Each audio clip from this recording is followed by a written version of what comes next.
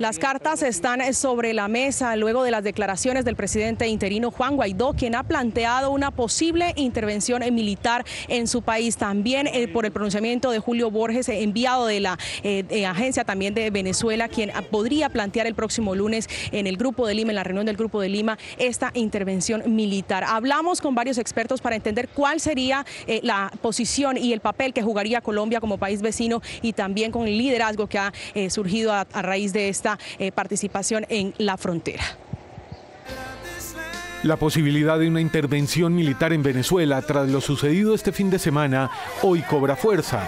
Para la analista política Laura Gil, la decisión de Nicolás Maduro de impedir el ingreso de las ayudas al vecino país hace parte de lo que Estados Unidos espera que suceda para intervenir militarmente. Se está configurando el escenario para que pueda haber una intervención eh, militar por invitación, al estilo de la que hubo en Panamá. Para Álvaro Forero, este panorama es hoy más probable que hace unos meses.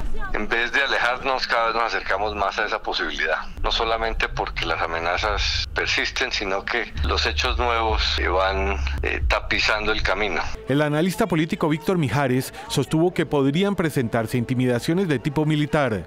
Es natural que, obviamente, esta potencia, esta superpotencia, vaya a incrementar entonces su presencia militar y naval, sobre todo en el Caribe, en cielos alrededor de Venezuela, tratando de, por un lado, recoger información y por otro lado, este, intimidar al alto mando venezolano. ¿Y cuál sería el papel de Colombia en el eventual escenario de una intervención militar estadounidense a Venezuela? Esto es una posibilidad y si es una posibilidad, eso solo se puede dar con el apoyo político y logístico de Colombia. El problema para Colombia es que así no colabore, puede recibir los efectos de alguna intervención militar en Venezuela. Además, Colombia tiene la enorme debilidad del ELN. No veo que las tropas colombianas vayan a ser llamadas a intervenir directamente en el territorio venezolano, sino a reforzar una frontera que es muy amplia. La reunión del Grupo de Lima será para los expertos determinante ante la posibilidad de que Estados Unidos decida utilizar la fuerza en Venezuela.